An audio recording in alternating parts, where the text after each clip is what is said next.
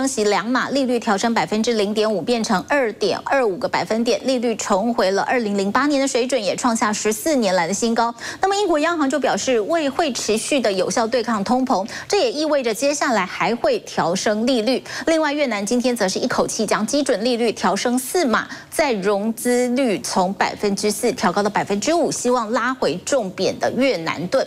那么我们也看到了，美国联准会为了对抗通膨，宣布升息。由于市场看快十一月再度升息三码的几率很高，所以这也使得美股道琼应声重挫，所以今天的台股也是下跌的。那么有鉴于台美利差持续的扩大，今天呢召开了央行里监事会议的总裁杨金龙就坦言，有少数里监事认为台湾应该升息一码来应应。马路人山人海，连行动不便、坐轮椅的阿贝都拼了老命要上街头表达不满。南美洲国家厄瓜多，由于政府债台高筑，积欠社会保险金高达八十四亿美元，让民众收入甚至退休养老都受到影响。Lo que se trata que el seguro está quebrado y eso es uno de los grandes problemas. El seguro lo que está mal administrado, no quebrado. 阿根廷同样苦不堪言，因为当地八月通膨率已经飙升到百分之七十八点五，预计今年底通膨率将上看百分之百，代表前一天用十披索能买到的物品，隔天得花二十块才能买到。民众手上的钞票价值缩水，只能透过黑市交易或以物易物求三餐温饱。el sueldo que uno tiene ya no, no vale nada. Eh, si bien es cierto, antes uno ganaba 100 dólares, ahora ¿qué es 100 dólares? Y es lo que uno gana, 150, 200, nada más. Y eso que uno hace extras. 美国升息打通膨，导致美元狂升。虽然阿根廷将基准利率上调二十二码至百分之七十五，但形同螳臂挡车，阿根廷资金仍大量外逃，披索一度贬值百分之六十。数据显示，新兴 市场国家高达八百三十亿美元债务将于明年底到期，斯里兰卡和巴基斯坦破产。还有更多国家会步上后尘。它的美元负债多，而且它都是借外债，而且外债都是以短期。那甚至国家如果说预算是赤字，国家的负债高的话，这些脆弱的国家就要特别小心。已开发国家大致上呢是经济走缓，但不至于发生金融风暴。是部分少部分的脆弱国家可能会发生，但是这些脆弱国家对国际的经济影响幅度并没有那么大。可能会衍生像一九九七年东亚金融风暴那样的情况。那特别是什么呢？特别是没有充分外汇存底，跟没有这种换汇协议的这种新兴市场，那最可能成为这种正央。而且呢，因为国际的这种金融啊、贸易啊，其实是环环相扣，是连接在一起的。所以呢，也有可能因为在金融啊这个新兴市场发生这样的一个危机呢，往外扩散，然后外溢到其他的国家，都这个不能避免。通膨野火燎原，美国联准会再升息三码，拉抬美元指数站上一一一价位，续创二十年新高。相较于各国暴力升息，台湾央行走自己的路。总裁杨金龙宣布，本季小升半码，央行重贴现率将由现行百分之一点五上修至百分之一点六二五，符合市场看法。我们的核心通膨下半年呢是会在二点六四，那全年呢我们。全年的呃通呃核心通膨呢是二点五二，今年呢还是会在二 percent 以上，但是呢明年呢我们会回降到啊二 percent 以下。下半年哈，大概因为美国跟欧洲嘛哈，现在都是会用比较激进的方式来升息啊，那这个方这样子的话会对终端市场的需求产生一些压抑效果。也就是说，比较不利于我们的出口。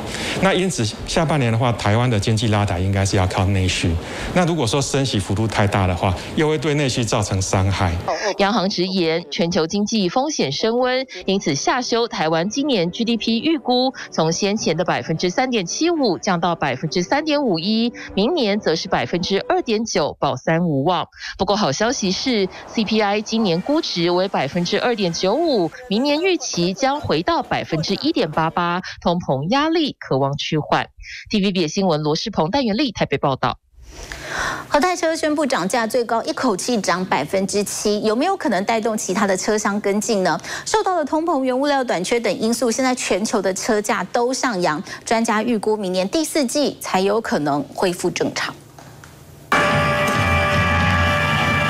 看准中大型房车市场，进口车品牌推出纯电新车抢势，流线弓形无缝设计的沉稳外观，豪华内装铺陈，科技感十足。预计十月陆续交车。So when we look into the year of 2022, we can clearly see that the automotive market is still very much uh, influenced by the disruptions we see in the supply chain.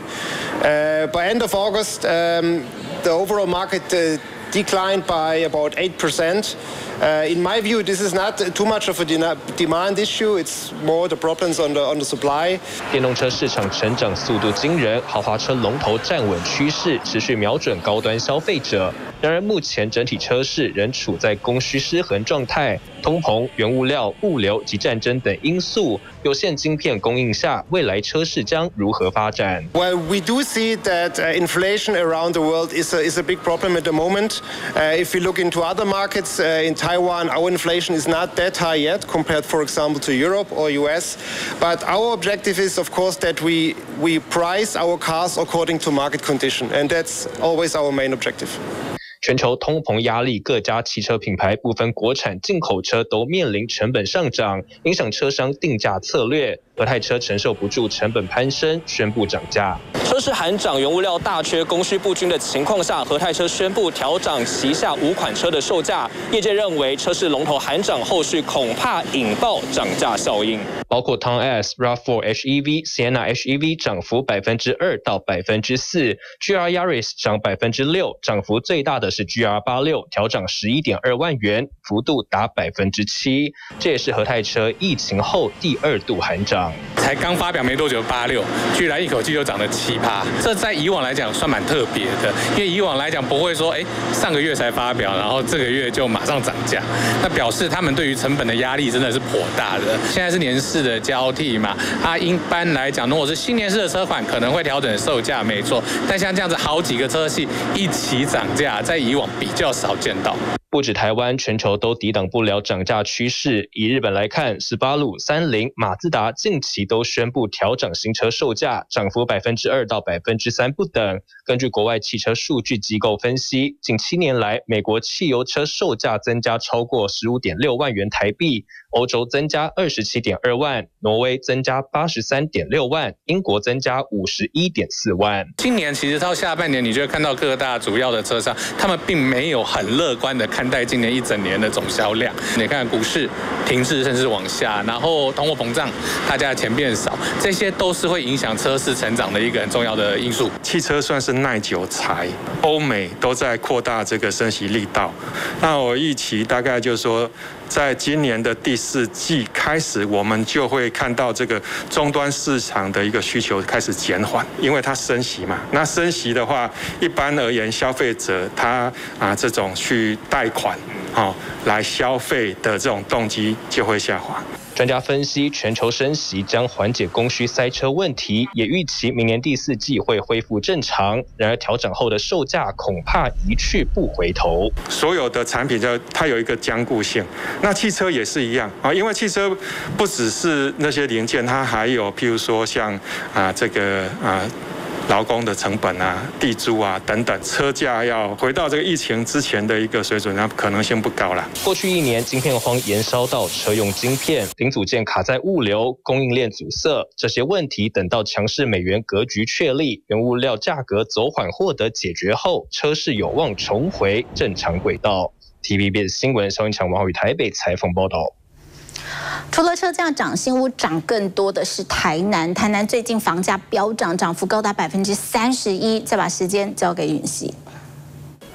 不只是双北的居民觉得房价太高买不起，目前哦，台南也有类似的状况。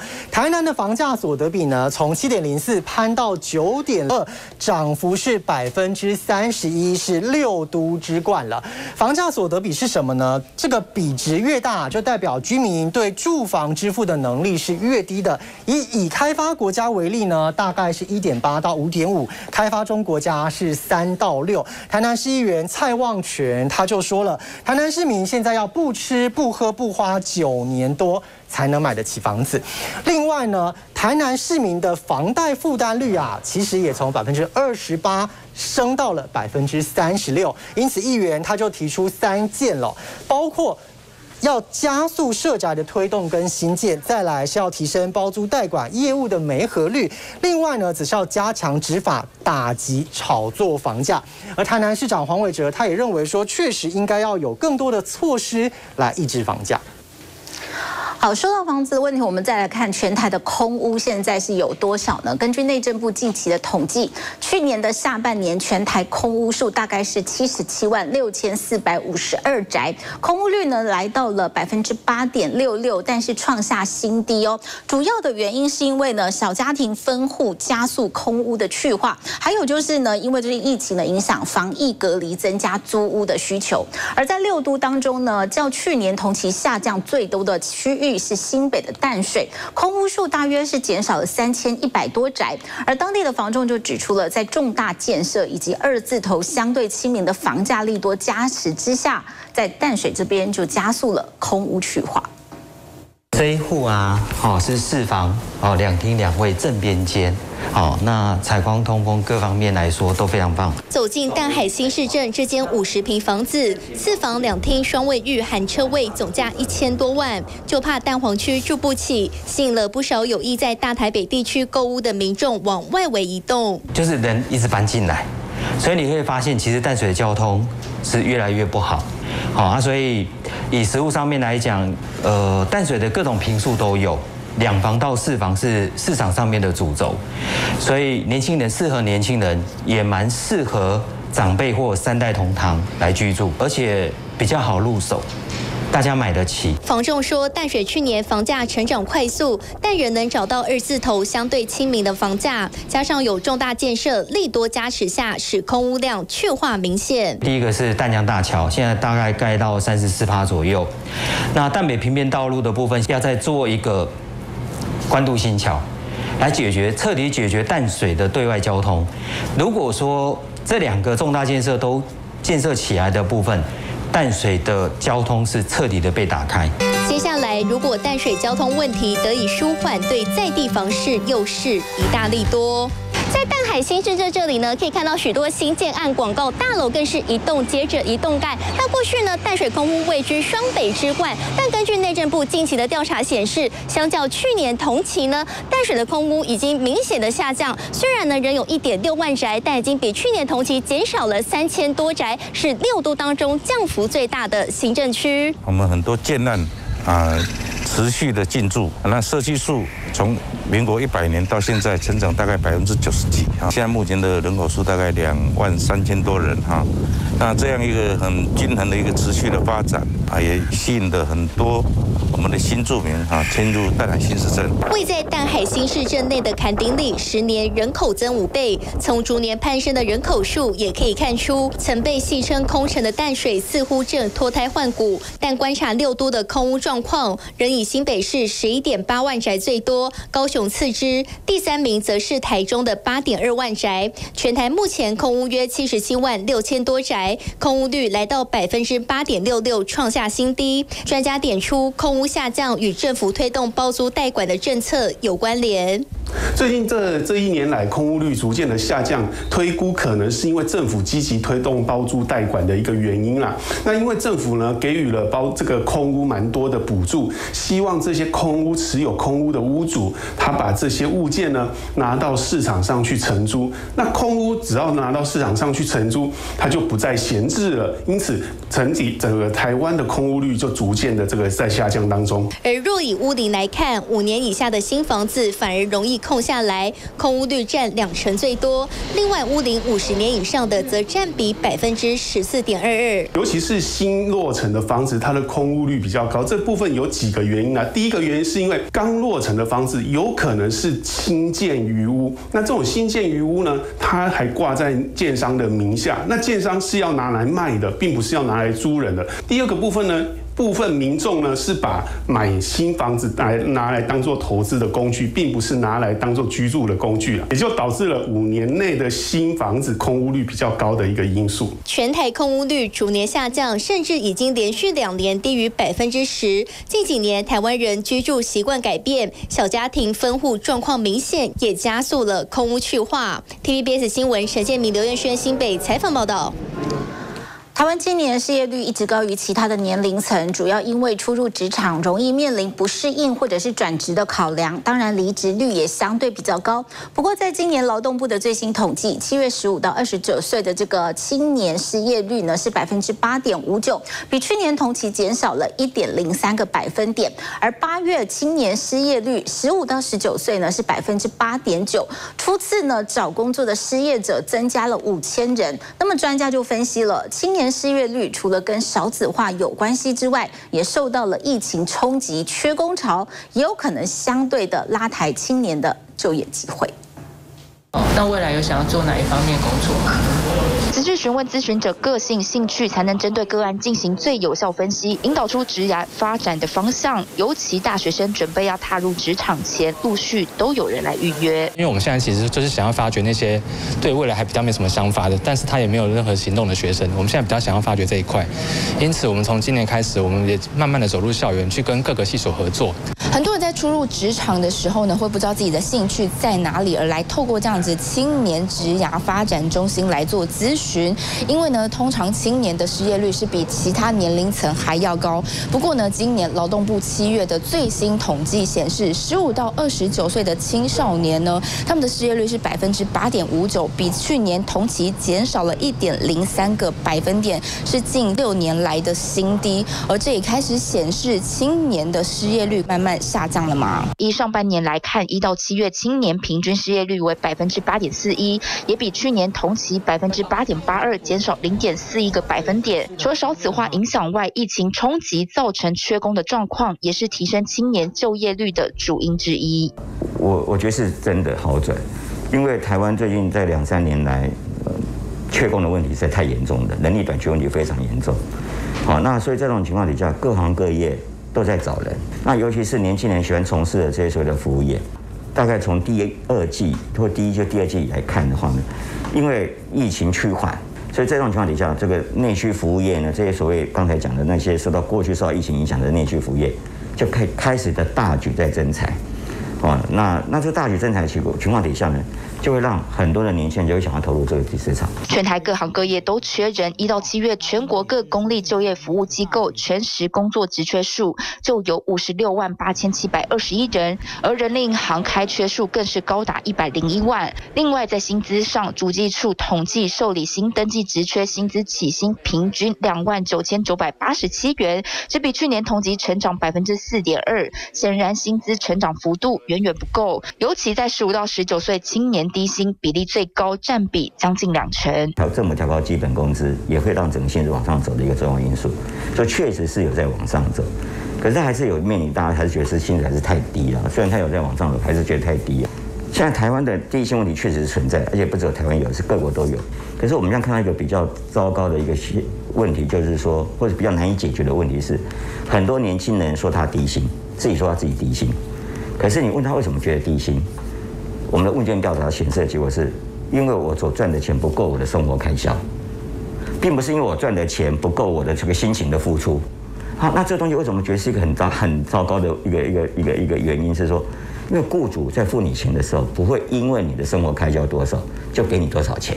全台大缺工，尤其在资讯、软体、半导体缺口最大。未来科技产业在人力招募配置上，渐渐往 AI 自动化解决为导向。专家建议，要布局职业发展，得要打破传统科技思维，扩大领域触角。光是工程师的职缺和去年同期相比，就成长了百分之二十五。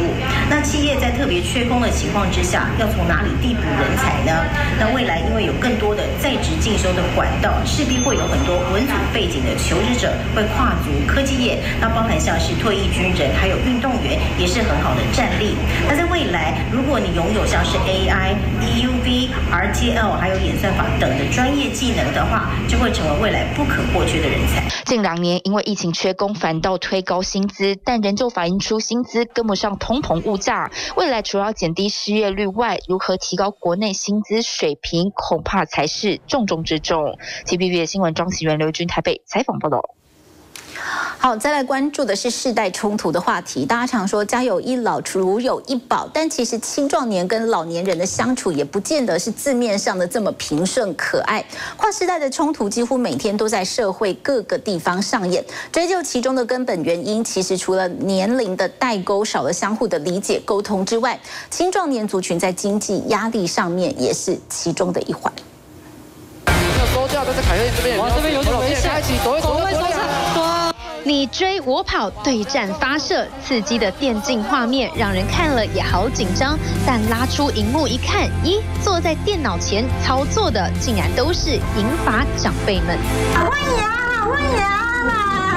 谁说打游戏是年轻人专利？手把手，一步步传授，号召六十岁以上的神队友来战，从新手教到变选手，打破年龄限制，也同步建构着世代的桥梁。我如果对他用啊，他就要转哦，转一分钟，只要转一分钟，这一分钟只能放一次，这是他的大绝招。对，对，一分钟转一次，你所谓转一次。我们发现说，想要让年轻人跟长辈可以有共同的兴趣，也打破一些隔阂。